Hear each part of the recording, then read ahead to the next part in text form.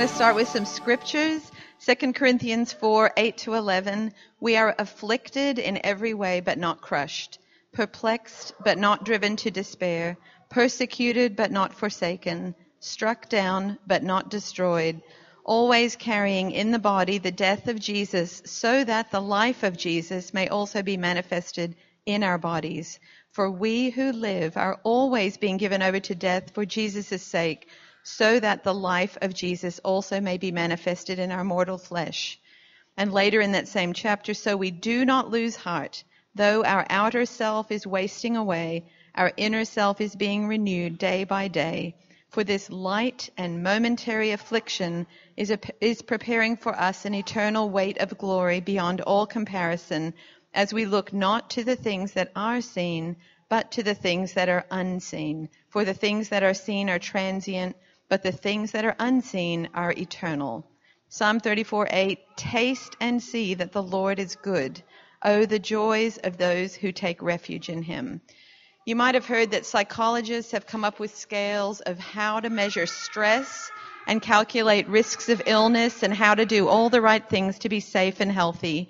But I don't want to enumerate troubles. As the old song says, nobody knows the trouble I've seen, nobody knows but Jesus. Yes, Jesus knows. Glory, hallelujah. Jesus told us, here on earth you will have many trials and sorrows, but take heart because I have overcome the world. I do instead want to encourage each one of us to do what the psalmist tells us in Psalm 62. Yes, my soul, find rest in God. My hope comes from him. Truly, he is my rock and my salvation. He is my fortress. I will not be shaken. My salvation and my honor depend on God. He is my mighty rock, my refuge. Trust in him at all times, you people. Pour out your hearts to him, for God is our refuge. And the last scripture, Psalm 30, verse 5 Weeping may last through the night, but joy comes with the morning. So no matter what we're going through, Jesus knows and joy will come. But in the meantime, we trust God and we pour out our hearts to Him and continue to do small things with great love. So even at broken times, maybe especially at broken times, and this is my testimony, I feel like the last five years have been a season of a lot of broken times. Even when we're in broken times, broken places, with broken relationships, let's sow seeds of love everywhere we go in every circumstance, situation, and relationship. In one of our recent prayer newsletters, Nancy encouraged us, and I quote, we are to practice sowing seeds and watering seeds, continuing to encourage and to pray for one another with full faith the Lord will grow a harvest from the seeds we are planting and watering in the kingdom.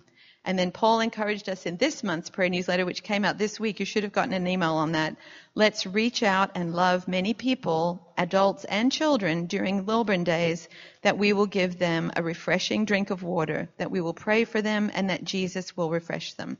And that is exactly what God did through this wonderful band of believers yesterday. So raise your hand if you came yesterday to help out at the booth. Look around. We had 23 people. That's more than half the church. Thank you for coming to serve. You all are the servingest, everyone can play church I've ever experienced, and I'm thankful for every single one of you. So, I want to first give a huge shout out to Margie and Barbara and Teresa and Teresa's mom Janet for the amazing prayer squares. They turned out to be the thing that opened more doors of conversation than anything. You know, with especially the children. Would you like a prayer square? Nobody can say no to that. You know, an adult comes up, can I pray for you? They're like, no, I'm good. Children, would you like a prayer square? It's amazing. And cups of cool water, and it was so cold in the morning, cups of warm coffee.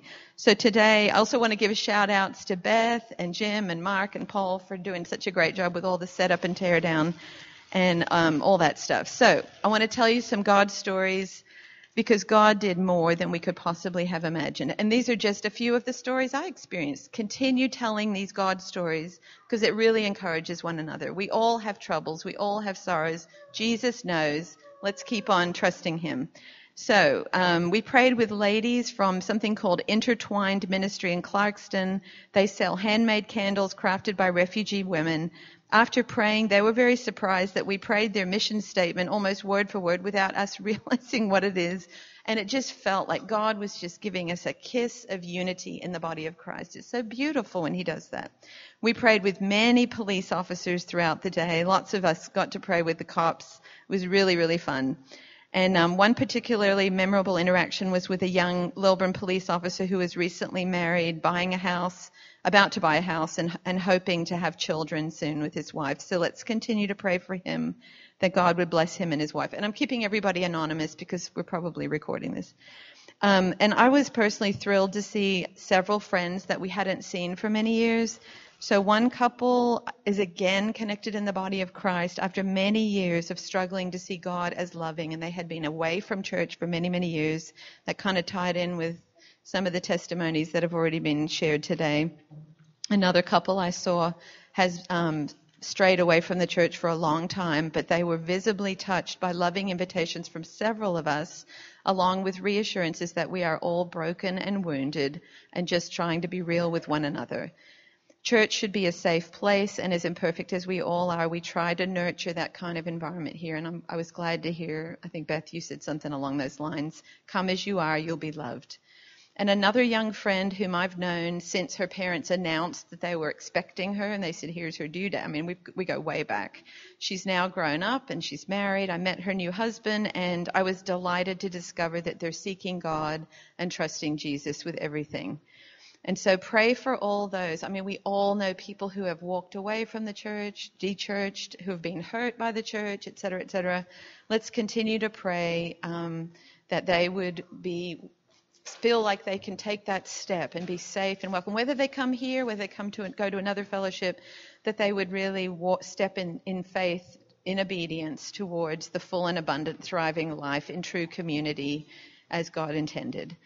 And so we were also encouraged to see three families who live right in our neighborhood, and one of the families are not yet believers as far as we knew we know. But I was looking for them, and I had this little, well, this little 14-year-old um, ROTC kid helping me. I was like, "Help me find my neighbor," because I can't see her. It was like this place was packed. There were thousands of people everywhere. And so when I spotted her, she and her son came running and ran into my arms. It was just, and I was just like, Lord, pray that they, let's pray that they will run to Jesus that way. It's just so amazing how open people are when we just offer them like a simple thing, like a, a smile or a hug or something like that. We prayed with a precious woman from the organizing committee of the Lilburn Women's Club who had a blood clot in her leg. And we got to pray for healing for her and just let's continue to pray for her. We prayed with a heartbroken, precious man whose adult daughter is in jail awaiting trial for doing something. I'm being cryptic here because of the age of the listeners. For doing something in response to chronic abuse from an individual which resulted in his demise. So pray for this precious father's broken heart and for kingdom transformation and mercy for all involved. And finally, right as I was packing up to leave, I got to pray, we got to pray with two precious young people who were 18 and 17 years old who were staffing one of the booths that was right next to our booth in a health related business. And after we prayed, the 18 year old man, young man said that he felt God's power and he knows he needs to be back in church. He had grown up in the church and gotten away from it and he was just visibly moved. And so there were so many encouraging things like that, just small things done with great love. Many invitations were extended by everyone who was there. Many prayers were lifted up. So Lord, let's just close in prayer. Lord, we just thank you for all these opportunities that we had to offer cups of cool water, to offer prayer squares, to offer invitations, to offer prayer, to offer encouraging words in the name of Jesus. We just trust you with the outcome of every single seed sown, we ask that you would bring the increase and that it would be for your glory. We pray all these things in the precious name of Jesus. Amen.